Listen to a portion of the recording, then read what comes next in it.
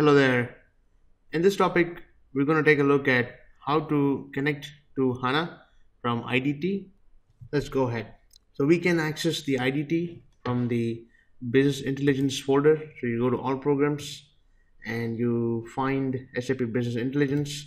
If you open it up, you will see SAP Business Objects BI Platform Clients. You click on that and then you basically find Information Design Tool.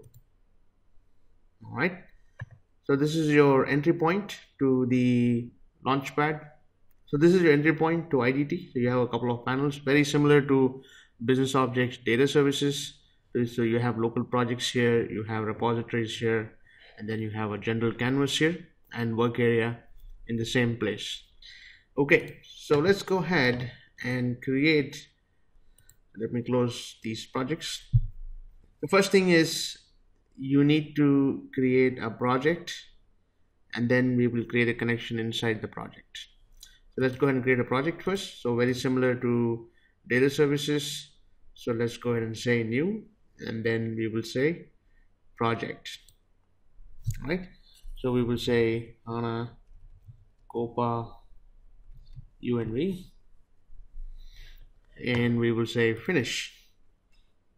So we have an empty project here now and if you see here on the repositories this is the server but I'm not logged into the server. We will do that just about now.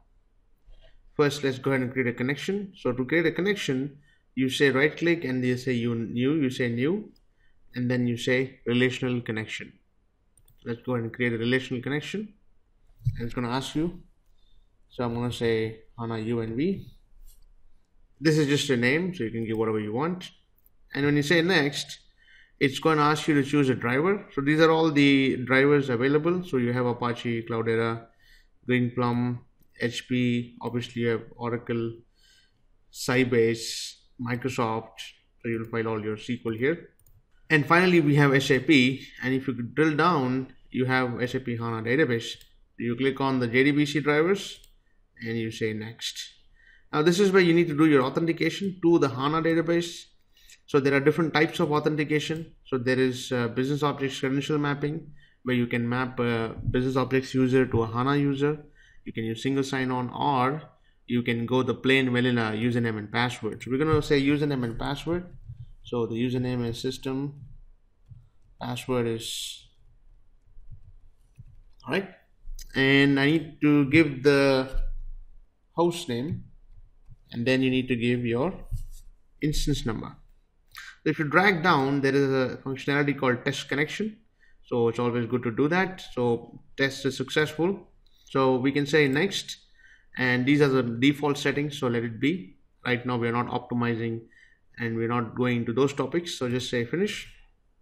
When you say finish this will show up the connection details and then you will have another object here called hana unv.cnx so what happens is the cnx is a local connection right?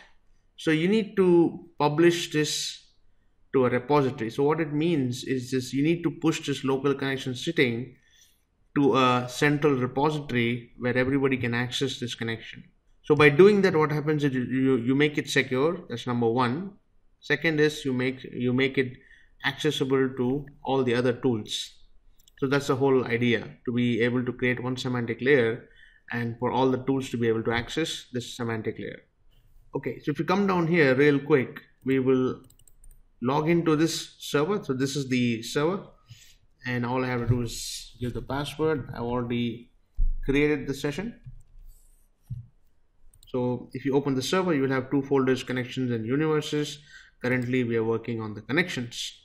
If you see there are already a lot of connections and we're going to create another connection so the way to publish a connection to the repository is very simple. You right click on it and you come about down right about here and then you say publish connection to a repository. So since we've already logged in, it's taken those credentials. Otherwise you will have to log in and then you say next. It's going to ask if you want to create a folder or if you want to just house your connection in the connections folder. Let's just do that and let's say finish so it says connection was published successfully and then do you want to create a shortcut? And then you say yes I want to create a shortcut. So then you have a CNS connection. So this is a secure connection and this is what you want to create a universe